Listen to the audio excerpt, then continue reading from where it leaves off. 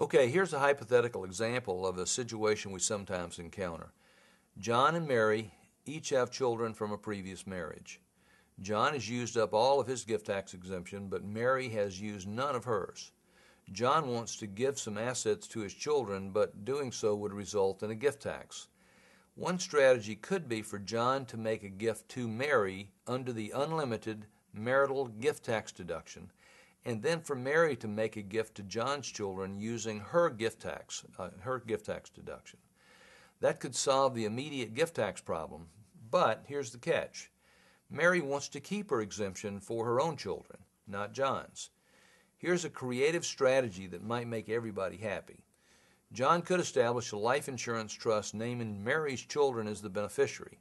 He could make annual gifts to the trust, sheltered by the annual gift tax exclusion, uh, to pay the premiums on, on the life insurance policy on Mary. The death benefit of the policy could be the same amount as Mary's gift tax exemption. Then John could go ahead and make a gift to Mary, followed by Mary making a gift to John's children. This strategy enables John to move assets to his children today and creates a life insurance benefit for Mary's children to replace the value of Mary's gift tax exemption.